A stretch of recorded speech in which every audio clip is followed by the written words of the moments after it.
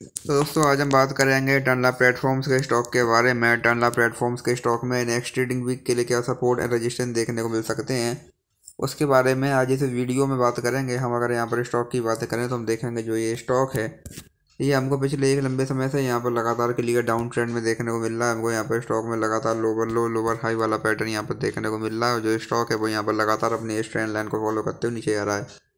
Stock ने multiple times यहाँ पर रजिस्टेंस लिया, जिसके बाद हमको यहाँ पर स्टॉक में गिरावट देखने को मिली है और आज भी हमको स्टॉक में one point four three percent की यहाँ पर गिरावट देखने को मिली है।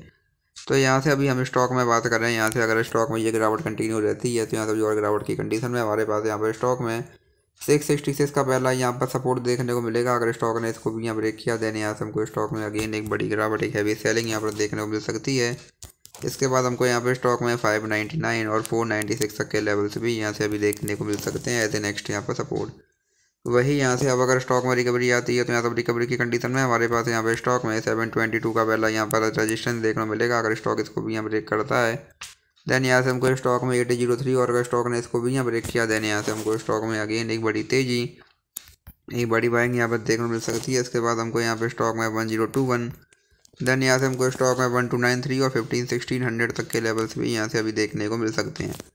तो ये स्टॉक में कुछ इंपॉर्टेंट लेवल्स हैं, आप इन पर ध्यान दे सकते हैं। बाकी वीडियो में कोई बाई सेल होल्डिंग सलाह नहीं है। वीडियो केवल एजुकेशनल पर्पज़ के लिए धन्यवाद।